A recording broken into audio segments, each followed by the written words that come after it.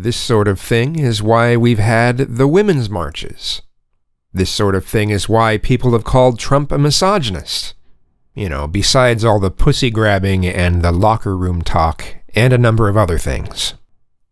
To those of you wanting to pull the Sargon mindset and say, well, what's the big deal if they can't get an abortion? It's not like that's actually very important. People have been having babies this whole time. It's not like it's going to kill you. Yeah, to those of you pushing that, where things that are extremely important to other people you declare as unimportant, that's called male privilege. It's as idiotic as saying, well, who cares about access to tampons? It's not really a problem. And yes, as I've stated before, there is female privilege as well, but that's not the focus of this video. And when you don't give your male privilege any thought, and you don't care how things could affect women mentally and or physically because to you their issues aren't important. It's not much of a stretch to call that misogyny.